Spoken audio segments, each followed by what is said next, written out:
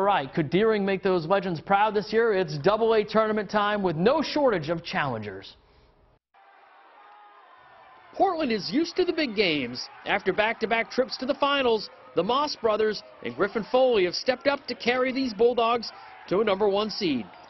Deering attacks the rim, and turnovers are the name of their game. They force 23 a game. With a standout like Andrew Fleming, Oxford Hills could ride the star to an upset. In the South, Thornton is the number one seed for the third time ever. Jack Tilley can control a game at the point, and David Cohan is rapidly emerging inside. Gorham has the ability to beat anyone, evidenced by handing Portland its only loss. They'll go as far as Billy Ruby and Sam Kilborn take them.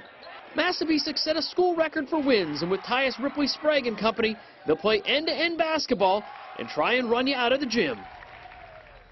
This should be interesting, Michael. Yeah, it's going to be fun. It's definitely going to be fun. You look down south, you've got a Gorham team that handed Portland its only loss. Thornton Academy's quietly put together a really good yeah. season that has them as a top seed. Massabesic, as mentioned, having their best season ever. I know a lot of people are excited to see them.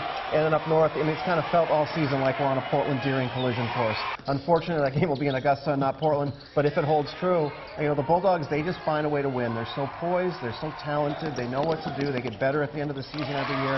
And for Deering, I think it's a mental thing. They have to find a way to beat Portland. The last couple years, they saved their best game for the tournament against Portland. They're going to need that again and maybe get a little bit of luck, too. But for my money, it's, it's the Bulldogs tournament to lose until someone beats It'll them. be interesting how these teams handle the layoff because those, those top two seeds get long layoffs.